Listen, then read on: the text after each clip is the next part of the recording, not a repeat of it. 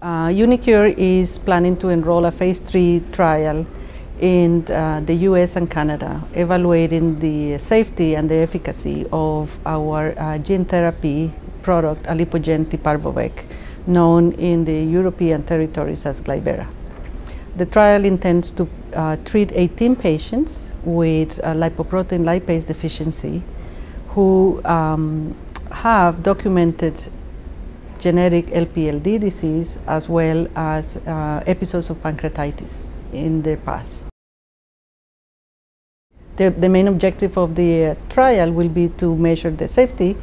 of uh, Alipogene Parvovec, uh, gene therapy based product, as well as the efficacy in terms of the uh, effect of the injected lipoprotein lipase on the lipid metabolism, in particular the breakdown of chylomicrons.